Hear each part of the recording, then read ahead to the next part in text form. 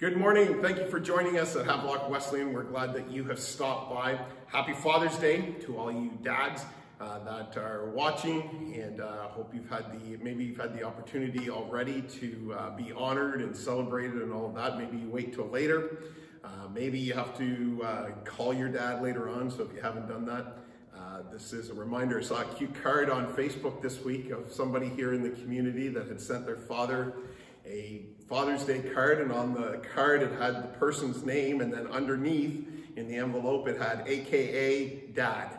And I thought that was uh, that was kind of cute. So we honor our dads today, and so I hope you have an opportunity to do that. For those of you that maybe your father is no longer with us, you have an opportunity maybe to pay uh, tribute to him and just thank God uh, maybe for the opportunity that you had uh, to have the father that uh, you did. And so for my dad, I get the opportunity to wish him happy Father's Day here. I'll call you later, Dad. I know you watch um, online uh, every Sunday morning. And so, um, but I'll, I'll, call you later. This isn't it. I will remember uh, to do that. I want to read a passage of scripture uh, today from Psalm chapter 27. Psalm chapter 27, the last few weeks, we've done these calls to worship, and I want to uh, continue to do that. And the, Psalm 27 says this, The Lord is my salvation, whom shall I fear?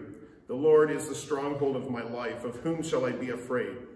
The one thing I ask from the Lord, this only do I seek, that I may dwell in the house of the Lord all the days of my life, to gaze on the beauty of the Lord, and to seek him in his temple. For in the day of trouble, he will keep me safe in his dwelling. He will hide me in the shelter of his sacred tent and set me upon a rock. Then my head will be exalted above the enemies who surround me. At his sacred tent I will sacrifice with shouts of joy. I will sing and make music to the Lord. Father God, thank you for the privilege it is to be able to be gathered uh, today. And uh, Father, I just uh, pray that, that those uh, words of David, that we would echo them too, that we would know that, that you are the God of our salvation, Father, we have nothing to fear when we are serving you and honoring you with our hearts and lives. And so, God, I just pray and I ask that you would surround each person that is watching today, Father, that you would speak to them in a way in which, uh, Father, that they need most. That, God, that we would have receptive hearts uh, to hear what you need us to hear, Father, and then to go do what you've called us to do. Father in heaven, we ask all of these things in your name. Amen. Just before our worship team uh, leads us in some music this morning, I just want to give us two announcements. Uh, and they are these. Uh, next Sunday, next Sunday is our annual Canada Day gathering where we gather with other churches from our community, and we're going to be doing that virtually. Hopefully next year we can get back together to being in person with all of the different folks from different churches in our community. Uh, but uh, for this week, uh, we're, we're uh, going to be, it's uh, going to be available right here on Facebook and on YouTube. And uh, you'll be able to connect in with all of the, the different folks from the different churches that'll be joining us online. So that's next Sunday for our Canada Day gathering. And then a week after that, July 4th, uh, I know that's a big day for those of you that join us from the U.S. That's your, your celebration of Independence Day, but it's an even bigger day for us here in uh, this part of the world, and we get to be back in person here. So if you're in the area, if you're driving, um, if you're in the driving uh, range area of being able to join us, uh, we'd love for you to be able to do that. So 11 o'clock Sunday morning, July 4th, uh, we will be uh, online as well. So for those of you that um, are joining us online and because of distance or for whatever the reason may be, uh, you can still continue to do that. But we're back here. There'll be more uh, information about all of that coming up in the next couple of weeks on uh, Facebook or wherever you get your, your information from. So we're excited about that, excited about what God has in store for us here in this next season. God bless you. Thanks for joining us. And uh, I hope that you interact and sing and comment uh, as, we, uh, as we sing these songs to the Lord today. God bless you.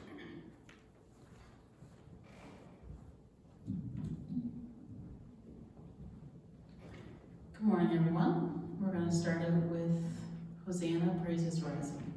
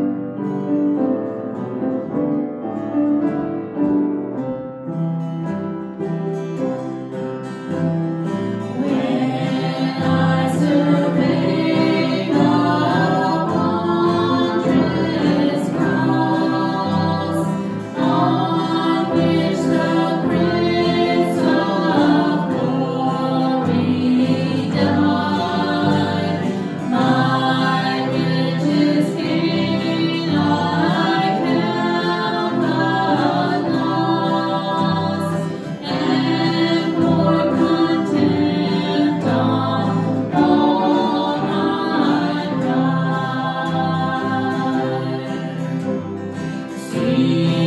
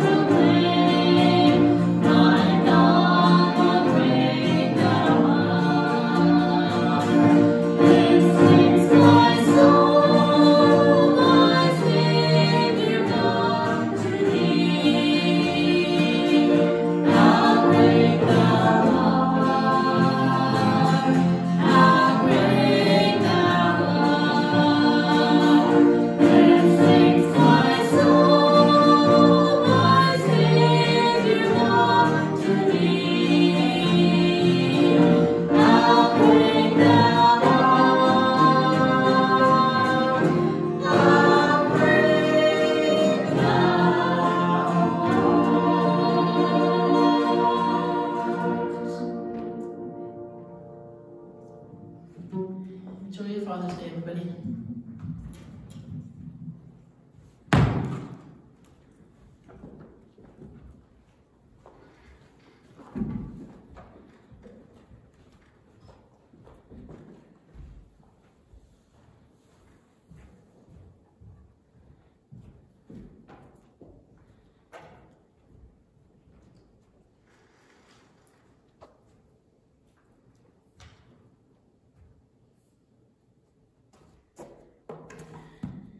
You have your Bibles with you or your phones, tablets, whatever you use to uh, read the Bible, I would encourage you to, we're going to be in a couple of different, three different passages actually, but the first one is uh, Psalm 100, verse 4. Psalm 100, uh, verse 4, and just one verse that I want to read uh, in just a moment, but I'll, I'll, get to that, but you can go ahead and, and look there.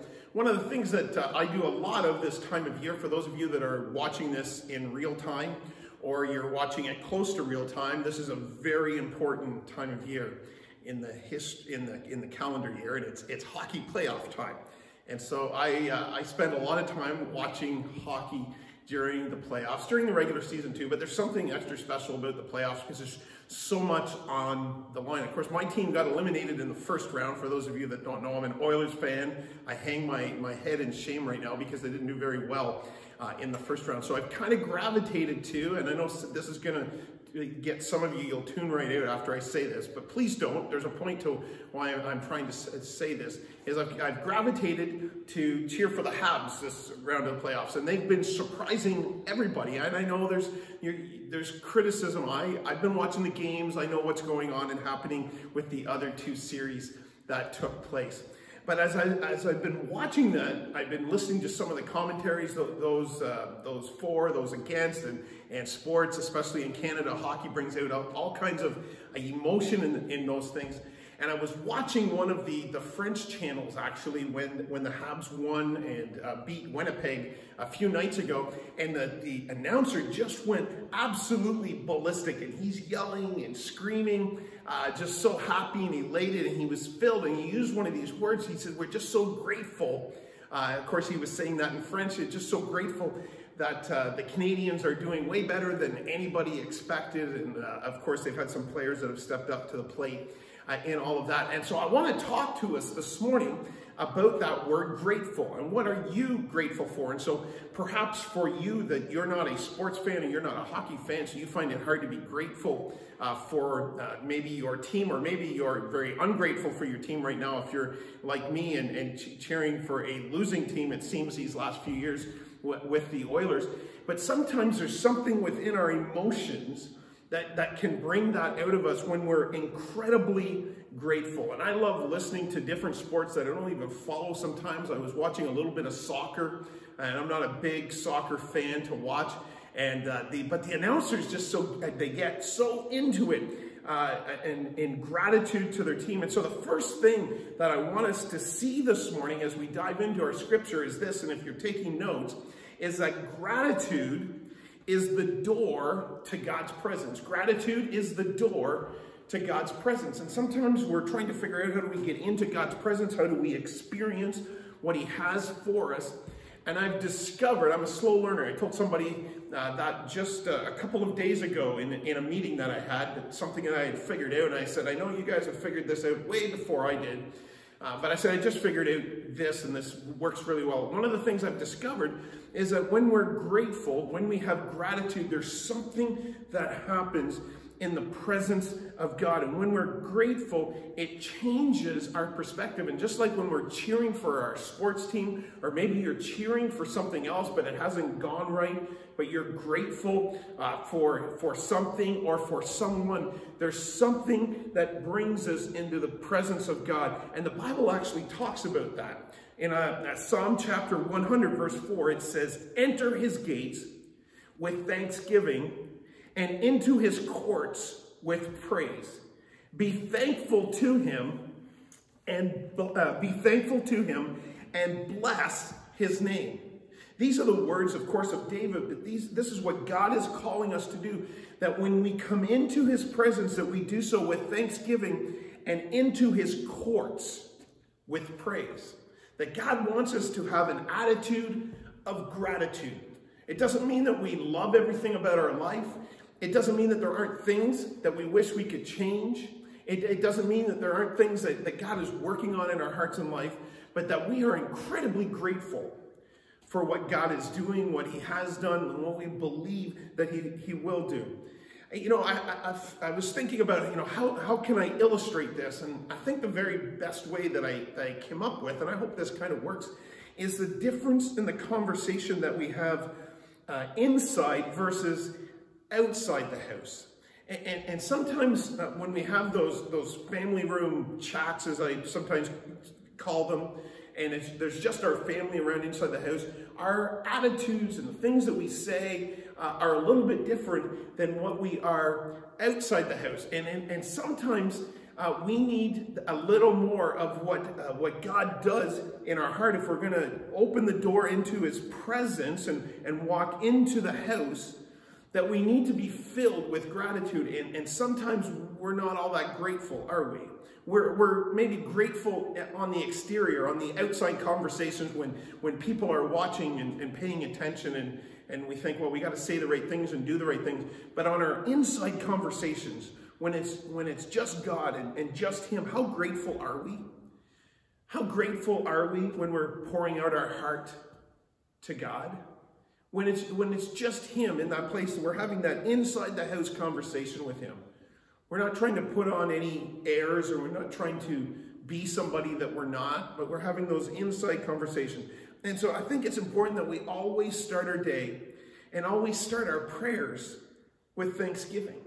To say, thank you, God. We can all find something to be grateful for, regardless of what we might be going through and regardless of what we might be experiencing. Number two this morning is this gratitude brings freedom.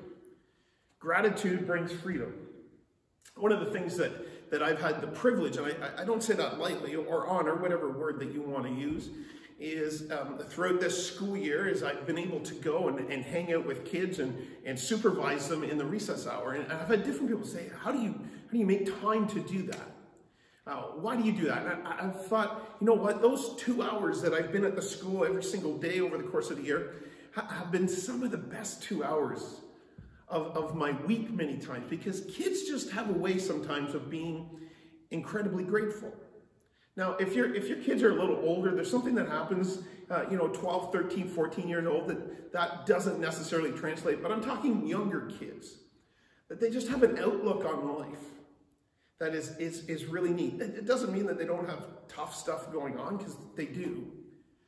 But I've discovered they're incredibly grateful and there's a freedom that comes with being grateful. It's not that it's perfect, but they're grateful for whatever small thing. And sometimes it's the smallest thing that you can do. Uh, know, whether it's putting a band-aid on a, on a finger or whether it's, it's, uh, it's zippering up a coat or uh, the big one this winter, I've discovered that, that if somebody made a zipper that worked really, really well all the time, they would make a fortune because zippers get stuck and, and they don't lock in right and all that kind of stuff. And, and you do something so small and, and a child is just so grateful and say thank you over and over again for that. Gratitude brings freedom. There's a story in the, in the Old Testament about Jonah. In Jonah chapter 2, verses 9 and 10, and I want to read part of the story uh, of, of these are Jonah's words. He says this, But I will sacrifice to you with the voice of thanksgiving. I will pay what I have vowed. Salvation is the Lord. So the Lord spoke to the fish, and it vomited Jonah onto dry land. Now, if you've never read that story before, if you're joining us and you've never read the Bible before, you've never been around church before, you might be thinking, what kind of story was going on here that, that somebody was like, is this a fairy tale? No, this is real life story. And just to give you a little bit of the backstory is, is Jonah was, was, was supposed to go and tell people about God so that they could turn from their ways and could walk with him. And instead of doing so, he said, God, I want those people to, to burn, literally, I want them to burn in hell. They don't deserve your love. They don't deserve your grace. And so he went in a different direction. So he gets on a boat, and instead of going one way, he goes the other way.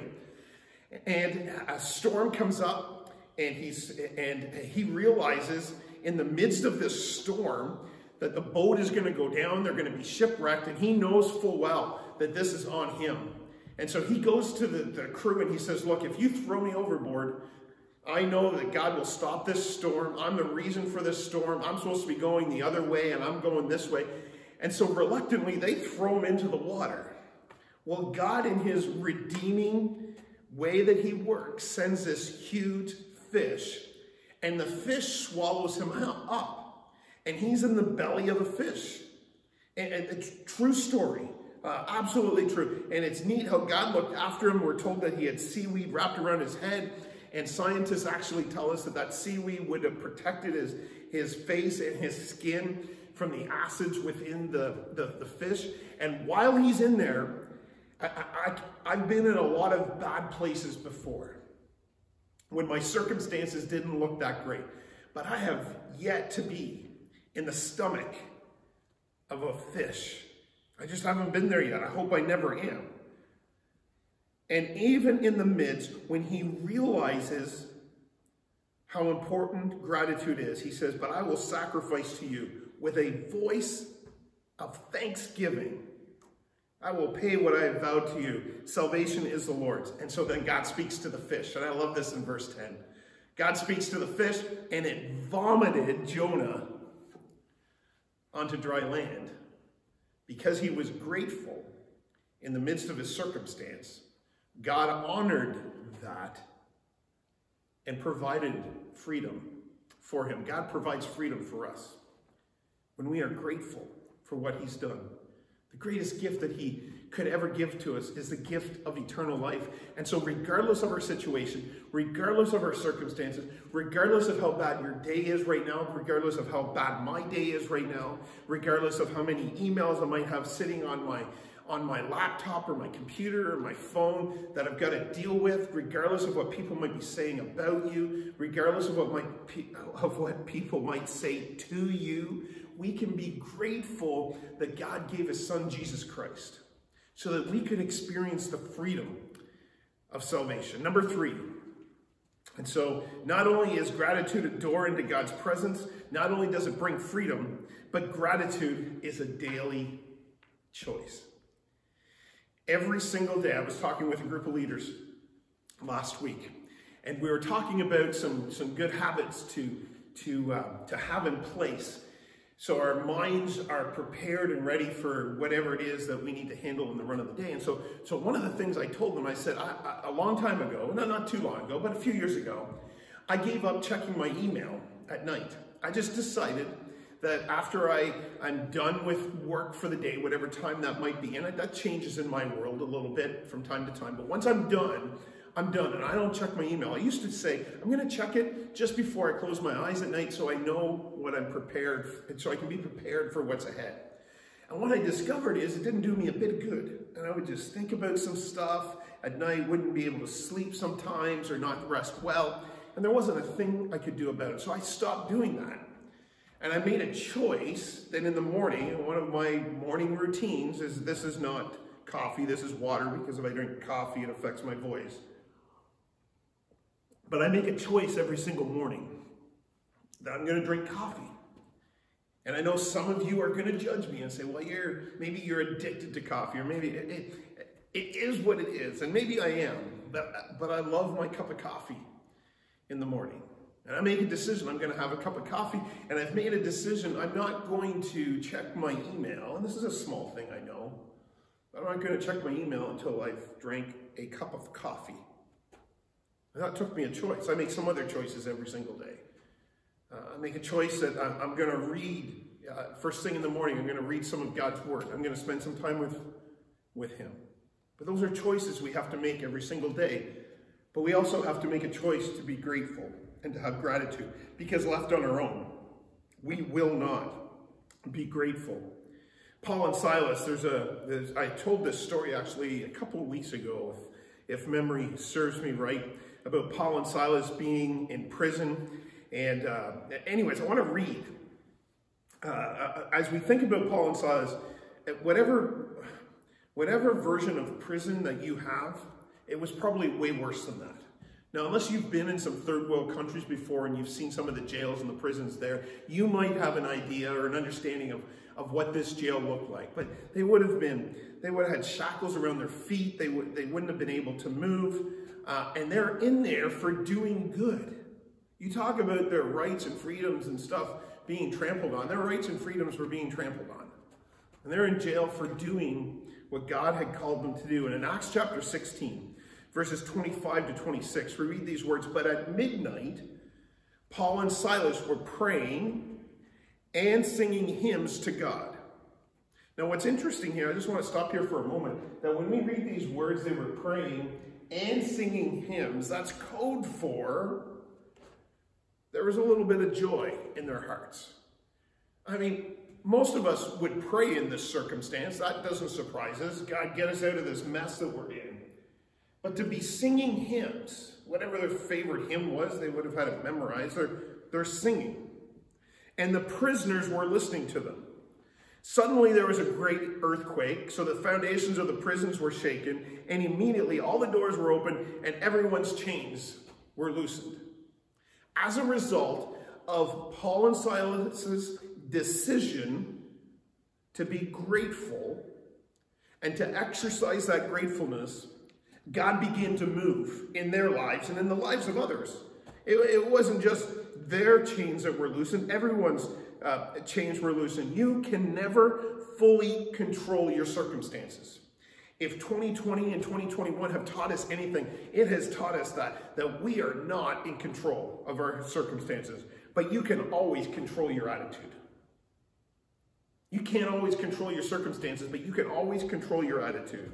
And an attitude of gratitude will affect not only those around you, not only you, sorry, but all of those around you. Have you ever been in a room before where that one person that is always so negative about everything walks in and it just seems to bring down the temperature of the room. It just, everybody is, is feels a little worse about the situation and, and themselves sometimes. But then the opposite. Have you ever been in a room before where somebody walks in that has just an incredible attitude of gratitude and how that just changes the atmosphere of that room? or maybe even that situation or that circumstance, it, it may not change the, the, the circumstance, but it changes how we feel about the circumstance sometimes. Number four, I'm just about done. Number four, choosing gratitude means letting go of something else. Choosing gratitude means letting go of something else. Here's something, it sh I should have had it up here on the screen in front of you, but I don't. If you are writing stuff down, you can write this down, you can take it to the bank. It's true for all times and in all places. Gratitude and grudges cannot coexist. Gratitude and grudges cannot coexist. And we live in a world and we live in a culture where it says it's okay to hold grudges against someone or some person that has done something to you that wasn't right. And I just want to speak into that for just a couple of moments. I don't necessarily understand your hurt and your pain of what somebody might have done evil and sinful towards you. That's not right. It's not God honoring. God does not love it uh, in all the ways that it might be evil, it is it, it, it may very well be. But if we are allowing that grudge against that person to get in the way of the gratitude that God wants us to have in our lives, it'll stop us from being who God wants us to be. And I know this might be a hard message for you. And forgiveness might be a long way off. But by holding that grudge we are actually putting ourselves in a prison around us. By holding a grudge, we are actually allowing that circumstance or that situation to be what drives everything about us. But when we choose to let go of that grudge, we allow that gratitude. And we don't have to be grateful for that circumstance, but we can be grateful for something that's happening in our lives. We might feel like there's no answer to prayer. God always hears our prayers. It's just sometimes the answer is no. Sometimes the answer is yes immediately, and then many times I've discovered that the answer is, is later. And when God says no, it's, it's always because there's something better in store. And I know it's so hard to be patient, especially in our culture right now when we want everything yesterday. But can I encourage you to be patient? Can I encourage you to show gratitude despite your circumstances? I know your life isn't perfect. I know you've got struggles and pains. But if we let go of those grudges and disappointments and the complaining, I believe there's a freedom that God enables us to walk into. And that's my prayer for you. That as we, that as we finish out this uh, series today, that you would be grateful not for your circumstances, but you would be grateful for something that God is doing or has done in your life. And so I want to challenge you in these last few moments to ask God if there's something that you can be grateful for right now. Maybe, maybe, maybe type that into the, to the chat there if you're watching live right now. What are you grateful for? What is it in the midst of so much uncertainty and so much brokenness and so much hurt and so much pain? What are you grateful for? You know, I was thinking about what am I, what am I grateful for in the midst of all that is happening and, and going on right now. And uh, for some of you, uh, you know, you know my story uh, a little bit um, of what we've been journeying through with, with my own family and, and uh, with my mom and some some um, uh, uh, some sickness stuff that she's dealing with, and she's probably watching at some point too. And I, I, love you, mom. I know you hate when I when I point you out like this, but one of the things that I've been so grateful for in, in the midst of, of COVID and and all of that is it's it has given me an opportunity and, a time to to really focus and to call home more and to do those things. And I was a, e even able to get up for a, for a visit back in March. And, and I'm not sure all of that would have been able to happen if it hadn't have been for this pandemic that we're in right now. And it's really easy to look at our circumstances and say, it's terrible what's happening right now. And I believe there's something that, that we can look to and say, I'm grateful. And I was grateful that I was able to get away for a week. And then I guess I had to do the self-isolation thing. But even in the midst of all of that, that I was grateful that I had the time to be able to do that. So regardless of our circumstances, as tough as what they might be, there is something that we can be grateful for. What are you grateful for this morning? Let me pray with you and pray for you. Father God, thank you that you are with us, Lord, every step of the way. And God, that you uh, want to give us a life of freedom, that when we come in and, and accept you into our heart and life and we decide to follow you by faith, that, that God, one of the things that you want us to experience is that freedom that comes from following you. And Lord, it can only happen when we let go of the grudges and, and allow gratefulness to be part of our everyday experience. And so God, I pray for each person that is watching online, Father, that you would speak to hearts and lives and you would help us to find at least one thing that we could be grateful for in the midst of all that is happening and going on. God, we love you today. And we're so grateful for what you've done for us, what you did for us on the cross. And God, I pray that for all that is said and done, we'll give glory and honor to you. And these things we ask in your name. Amen. I just want to mention two things before I sign off. One, it'll be coming up on the screen here behind me in just a moment. Next Sunday, we're going to have a special Sunday. We're going to gather with other churches uh, in our region for our annual Canada Day gathering. And so you can find that online, same place as what you are right now. And I'll be gathering with other leaders uh, to be able to bring that to you. And we're just so uh, delighted that we're able to do that. So uh, at 11 o'clock, you don't have to change a thing. It'll it'll be there ready to go. And, and secondly, as I as I sign off here in just a moment, I just want to say that if there's something that, that, that we can pray with you for, and I know there's a lot of you that are walking through a lot of different things. We'd love to be able to do that. And so please don't hesitate to, to reach out. Lord willing, if everything goes the way that it's supposed to go, uh, here in our province in Nova Scotia, uh, we'll be able to get back to in-person gathering for those of you that are here in our region. You'll be able to, uh, to join us in gathering. Hopefully in July is what we're aiming for. Uh, but we'll continue to uh, provide the online uh, method too, especially for those of you that are, aren't in the area. God bless you. Have a great week on account of God's presence being with you. And remember, what is it that you can be grateful for, even in the midst of discouraging circumstances? God bless you. We'll see you next week.